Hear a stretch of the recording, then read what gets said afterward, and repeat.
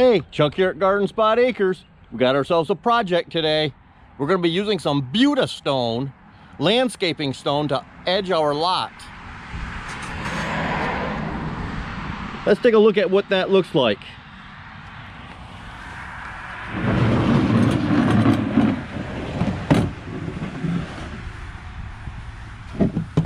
The pieces are approximately 48 inches long.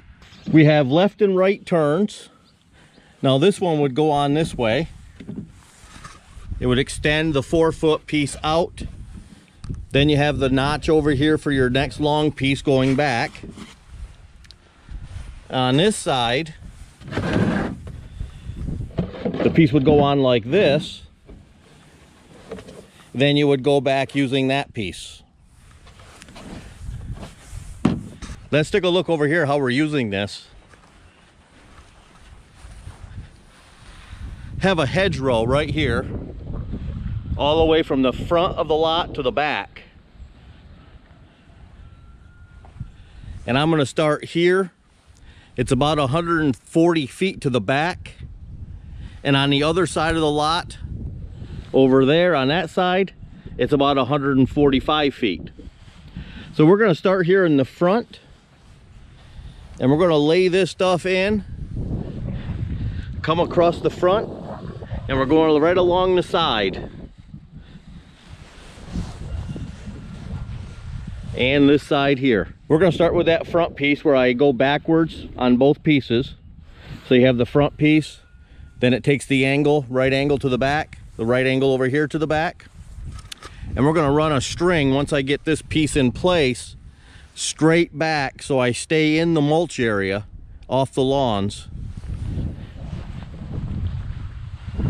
We're gonna do that on both sides.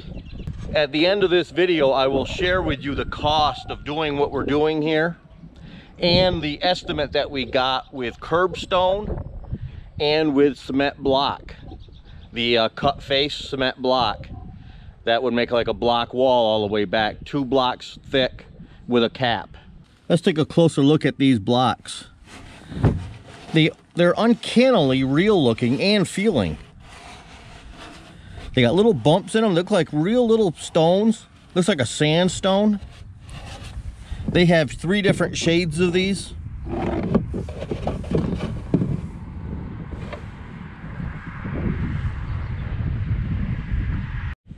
Each four foot section comes with spikes.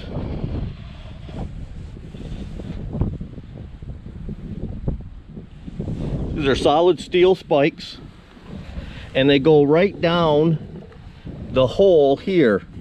The old style used to have a big hole here with a cap or a plug that filled that hole. These go right down in between the stones and you drive that right into the ground. Take a look how much these are going to extend into the ground.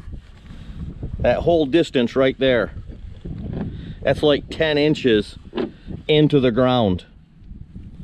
So that's quite substantial. I checked a couple different projects with these. One of them has about 300, 350 feet of this and boy, it is solid. And it's just sitting there on top of the ground, staked into place. And they have some uh, cobblestones behind it, like river stones.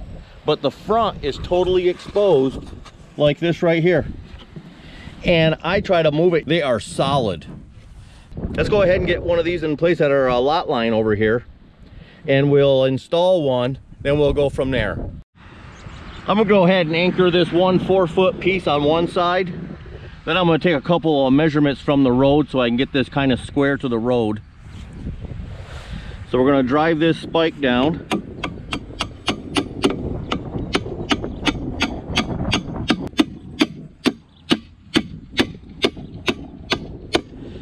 So I'll make sure that's square, perpendicular to the ground. Okay, I'll put this block in here.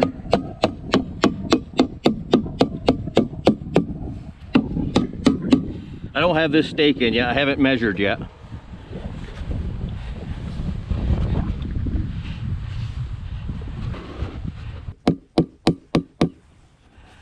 I'm not too worried about this front block here because once you get the sides on, it's going to solidify this whole thing. and we'll measure from the road here just so that it's like parallel to the road. I got like 16 feet there. So I'm pretty good here. Just want to make sure this is perpendicular to the ground before I start banging this in. And she's pretty solid. And what we plan on doing when we're finished with this, this is all going to be mulched in here. Quite deep. Probably three or four inches at least, or maybe even five. But on the outside, we're to get a nice load of uh, screen topsoil. And we're to come up the outside of this, maybe two inches fill in any of these gaps and then slope it down into the grass. So this is to be look like it's buried in the in the turf when we're all finished. And the grass will go right up against it.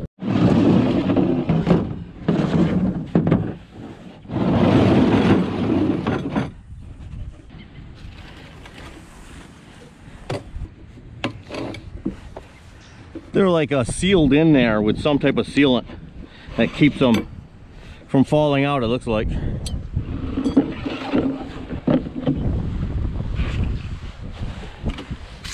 So this is going to slip right over top of that.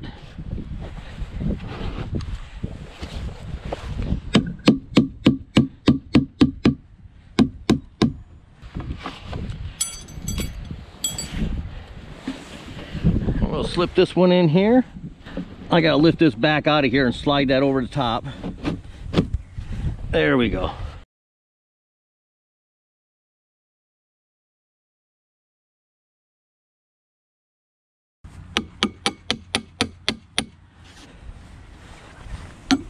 We're just gonna tap these in.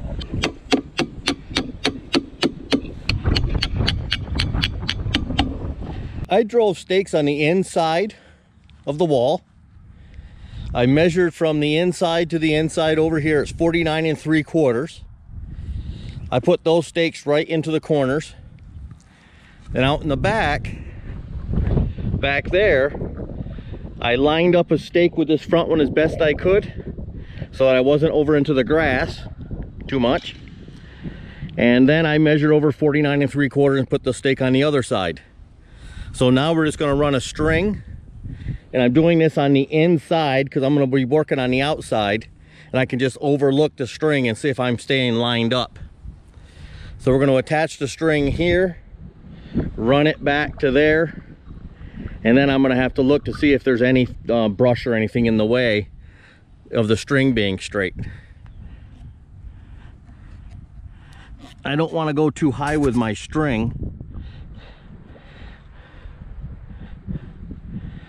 because I'll be getting in the way of the, the shrubs and stuff. Or I should say the shrubs will be getting in the way of the string.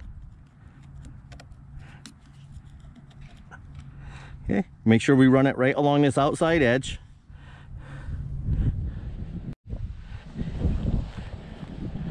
All right, made it back here.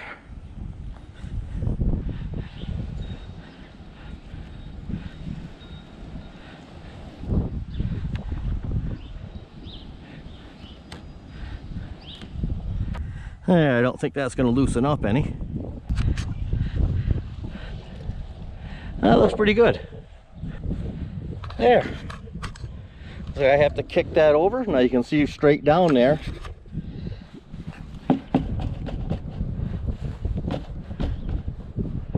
Just need to kick that over. It looks like she's going to go in right about there.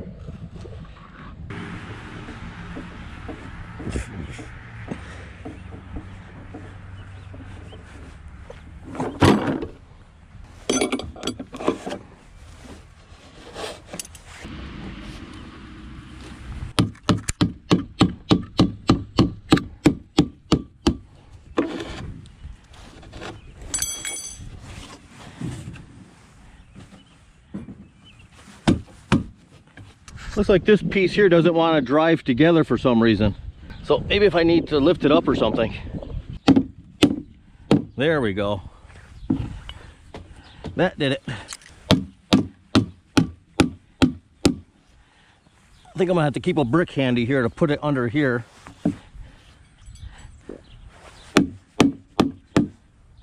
drive them together.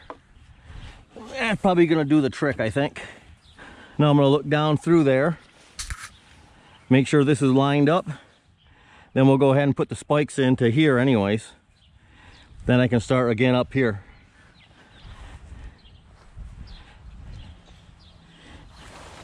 Look straight down there and I need to kick them in. I'll try to give you a straight down view.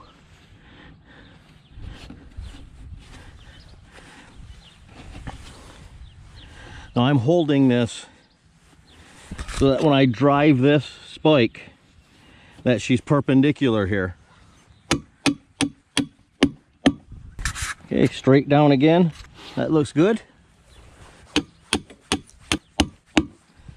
Let's see how well you can see. That looks pretty good right there. So I'll drive a few more in, put a few more lengths in, then I'll be back with you in a couple minutes. Again, I'm checking for perpendicular to the ground here. Is eyeballing that.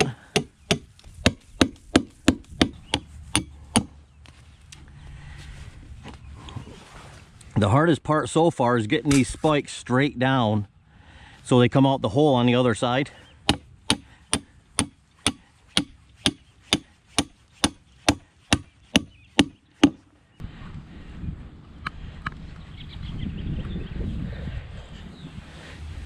I like that. There is a little bit of undulation in the ground here. And these are going over that fine. There's a little flex on these up and down. Welcome back. We got the whole first row of our edging done. Let's take a look at that. It took about, yeah, I would say somewhere between two and a half to three hours. And that included, I was digging out a little bit of sod here and there so they weren't sitting right on grass. So I think she's looking pretty nice so far. My wife really likes it. And it is able to flow with the with the slope of the land. You know, obviously no lawns are perfectly level. We're probably running eight, 10 inches here from one end to the other, going back on a slope. But there's all sorts of little dips and valleys and things. And this is doing a great job following the slope of the land. You know, the contours and it's really tight all the way back.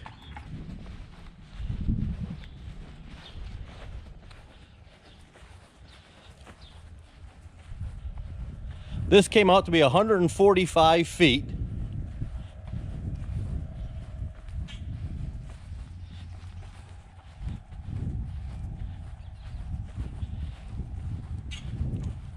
And we're getting near the end.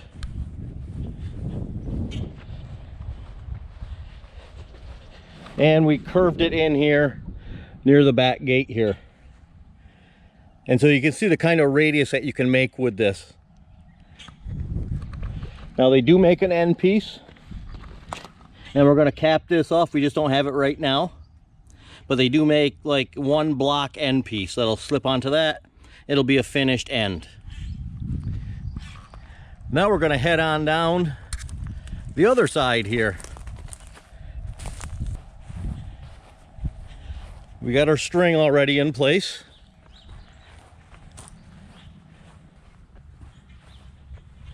And here we are back at the front.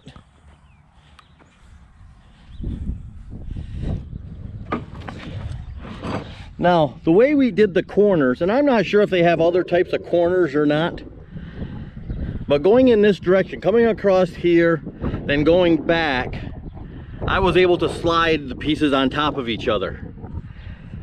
Now the corners that I was given to make the right angles here, take a look at this. Get down to this end, and I have the slide in notch. Where on the other side, I had this. So I was able to slide right over the top of that. Now in order for this to work, I'd have to lift every one of these up and put them in. So I couldn't go ahead and spike these in the ground every every piece like I did over here on this other side.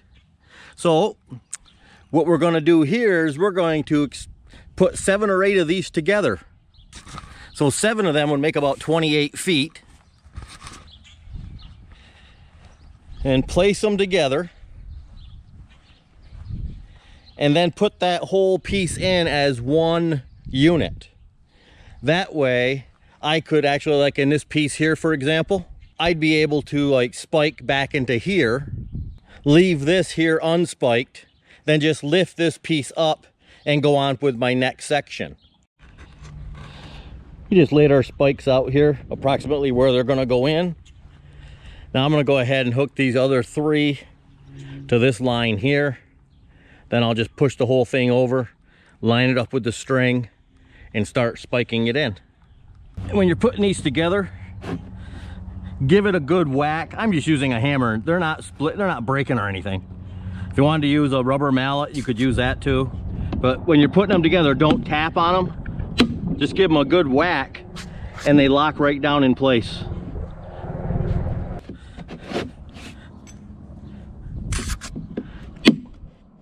Now I'll go ahead and slide this back.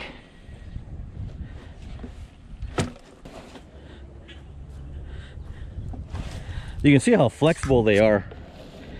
And you can make curves with these. Do you see the space in between each stone? That's how much you're able to flex these. We're going to be doing a tree ring on this video to show you what kind of tree rings you can make with these. So I'll probably play around with it, make the smallest one I can, and then make one large enough. Matter of fact, let's just take a walk over and show you the tree that we're going to be ringing. Got this pretty Japanese dogwood here. Obviously it's not doing anything yet, it's still April. But we're gonna come out five feet from the trunk. Basically making an 11 foot diameter circle. And I'm sure I can do that. That's gonna take what, 11 feet times pi, 30, about 34, 35 feet of those. So probably nine of those we'll put together and we'll make the circle here. But that'll be later on the video. If you're wondering how much these weigh, I think they're something like six pounds a piece. So they're not heavy at all. You know, six pounds for the whole four foot section. I think they're like 46 and three quarters or 47 and a quarter, something like that. Think it's gonna take more time mulching than it does, you know, putting these together. So I have to lift this one up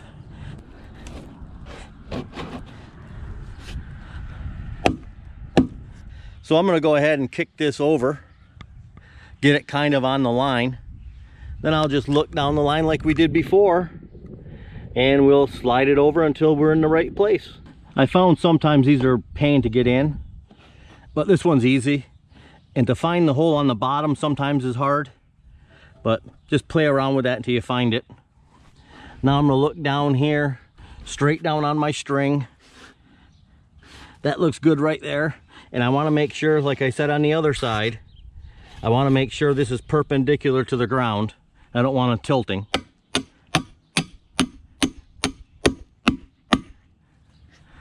I think I'll move on down and skip a few I think right there is good I'll put one in right there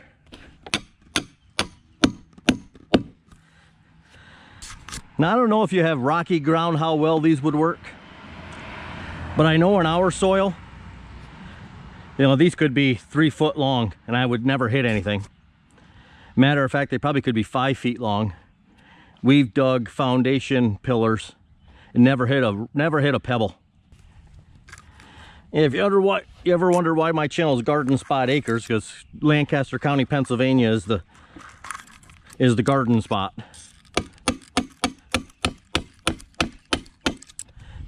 Uh, look over top of that. That looks good there.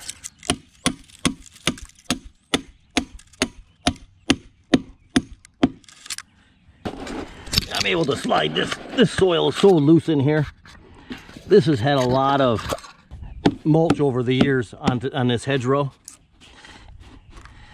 A lot of mulch, a lot of leaves, a lot of stuff just composting down. Now you see that one's really tight. So I'm gonna go in from the side. There we go. Yeah, going from the top might be hard if they're pinched together because they do these do uh, fluctuate this way or they're flexible this way.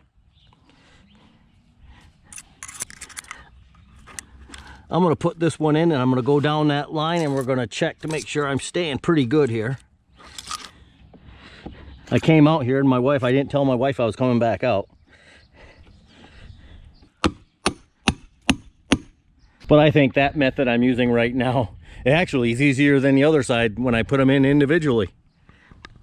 You know, hop, pop all these together and lay them in and push them over and stake them down. Well, we're on to our third long section here. And this does seem to save quite a bit of time. Each long section is taking maybe 15 to 20 minutes lining up with the string and driving all the spikes. But she's coming right along.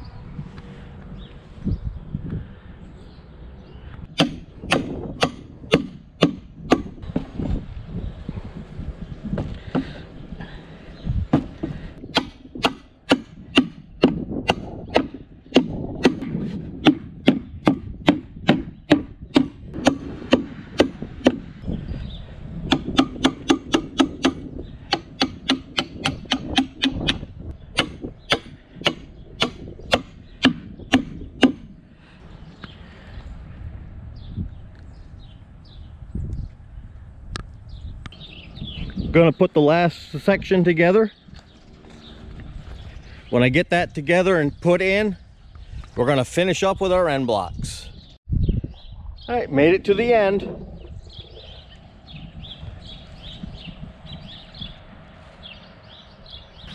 Gotta make sure I grab the right end block here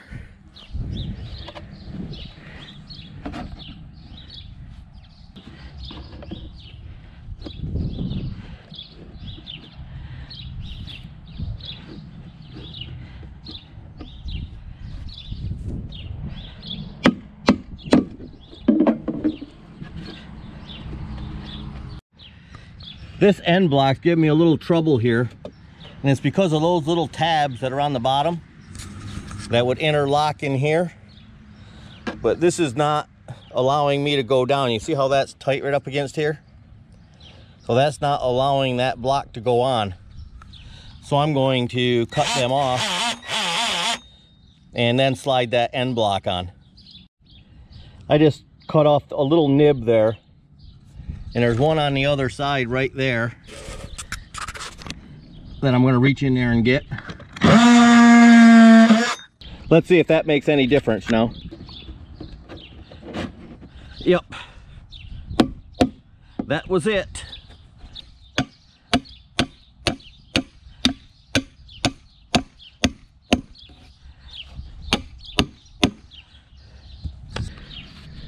And that's the way the end block looks.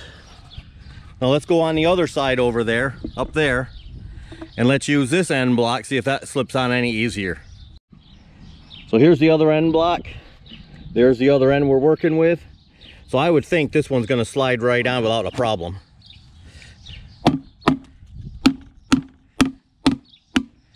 And there it is. All completed.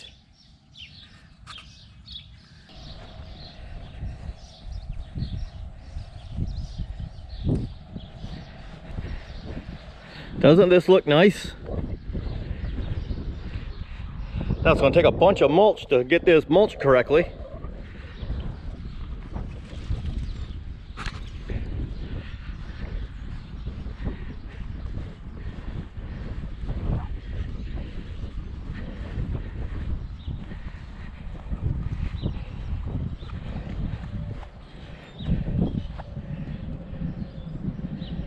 Well, now let's go work on that ring around that dogwood tree. A lot of people were saying you couldn't make tight circles with these. Well, obviously you're not gonna be able to take one and make a circle. But let's take four of them, since they do come in a pack of four when you buy them individually in packs like that from Amazon or from Beuta. So let's take a pack of four and let's see if we can make a ring out of four. I know I'm not gonna, I'm gonna need a lot more than four for that tree over there because it's 11 foot, 11 and a half foot diameter. Okay, got four of these laid out here. Now these can be arced. You can see the space in between here. So let's see how far you can do these.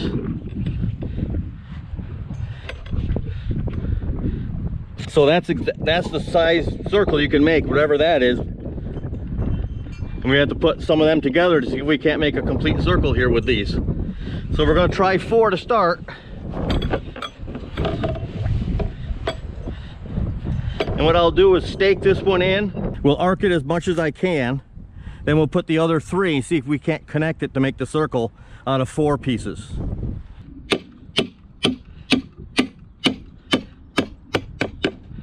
I'll leave that sticking out a little bit so I can take this out of here in a minute.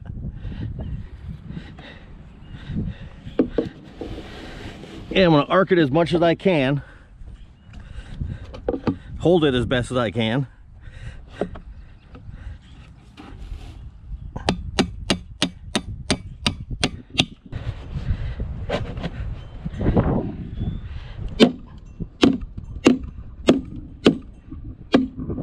One good wackadoodle, or three good wackadoodles.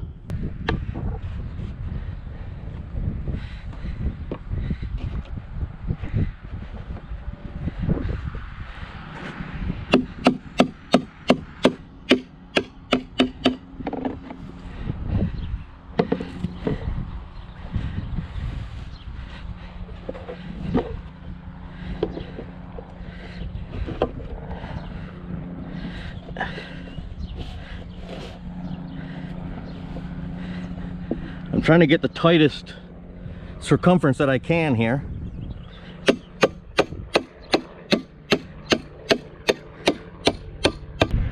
That's two four foot sections.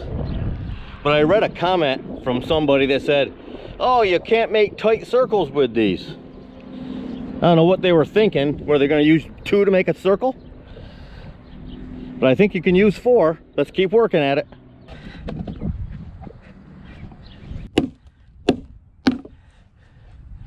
There's three.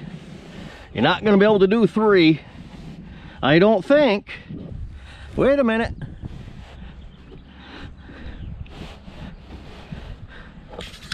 I think three might be the minimum.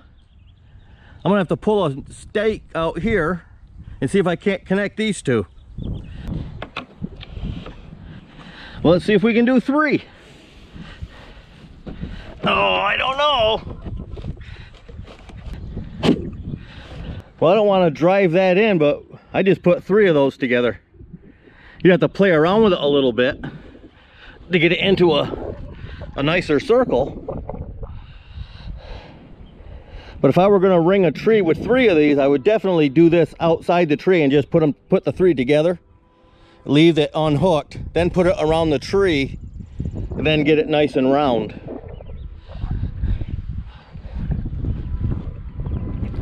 Because this obviously could be more circular. It can be pushed out that way and, and pushed in. You know, just play it around with so you get three. You can make a circle with three of them.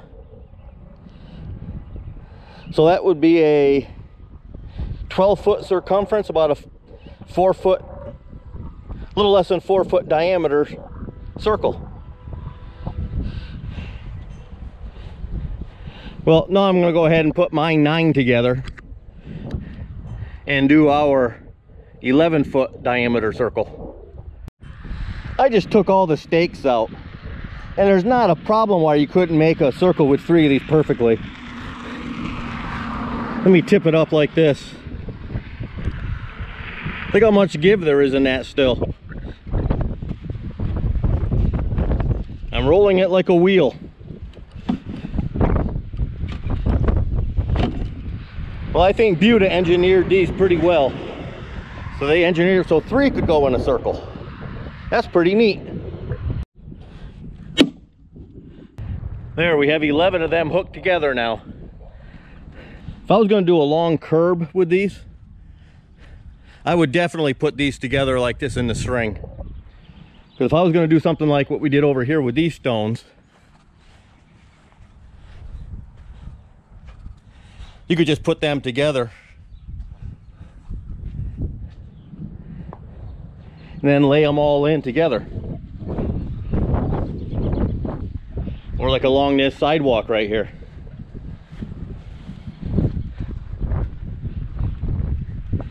Time to put that around the tree and make it some sort of a circle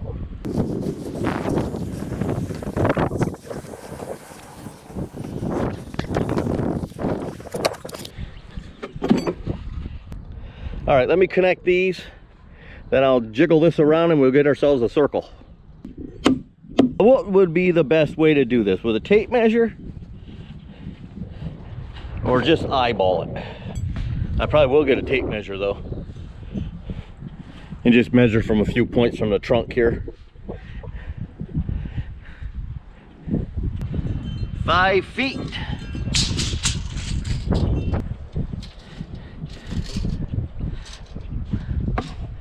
Five feet, five feet, six inches.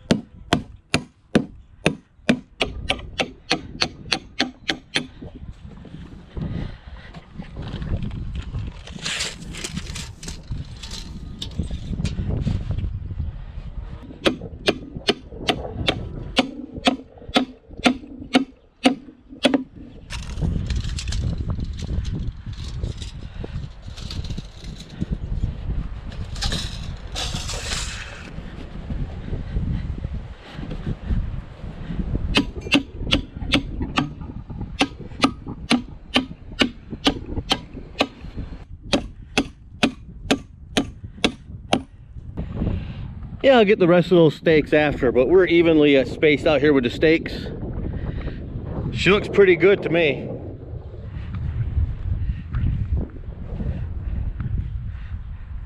We're impressed with this Beuta stone.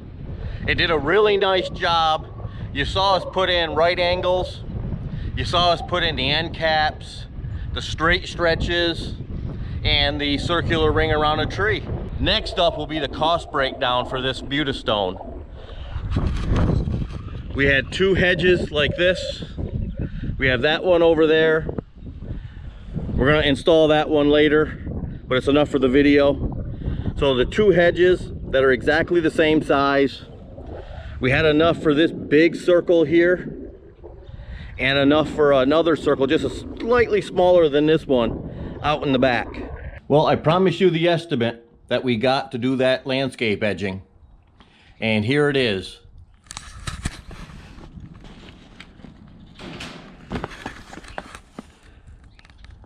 To do the landscape edging that we just did along both sides of the lot in a jumbo Belgian block set in concrete was $15,750.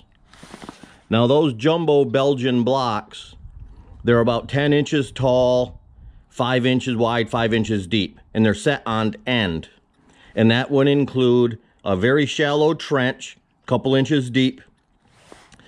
A mortar mix put into the bottom of the trench. And then the Belgian block set into that. So that was $15,750.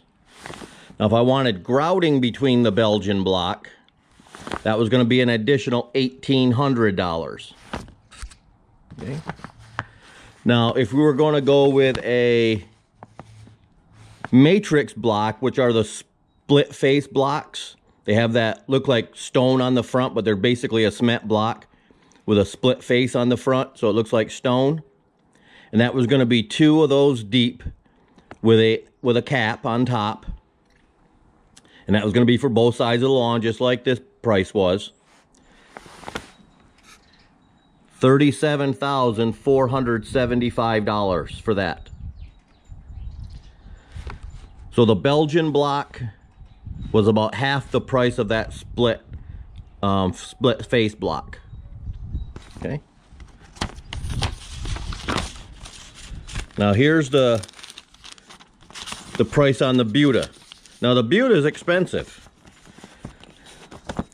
But here's the total price that we spent on those Beuta blocks right here. That included enough to do both sides of our lot, all the angle pieces, the right angle pieces, the end blocks, and it was enough to do an 11 foot diameter tree ring and a 10 foot diameter tree ring. So it was more than what this was because we're going to be able to get two tree rings out of this. And the total cost with tax, $4,679.98. Now to be fair, this price was also $30 for a four foot section where Amazon I think is 30 $37 38 something like that. But this was on sale for $30 a section and there was a one week sale on it 15% off of that. So you could add on uh, another thousand dollars let's say if you're going to buy this at full price so at full price, it would be like $5,700, $5,800 compared to these prices over here. So I think we got quite a bargain, and I really like this Beuta block. It looks nice. It goes in easily, and it is pretty solid. So I think it's going to last a long time. They say plastic lasts forever, right? This is a resin, some type of resin mix that they use. So we're very pleased with this. Well, what do you think? Do you think the Beuta block is going to hold up? You think it worth the price? Leave your comments down below. We'd love to read them. We'll see you in the next video. Thanks a lot for coming along on this one. Have a great day. Bye-bye.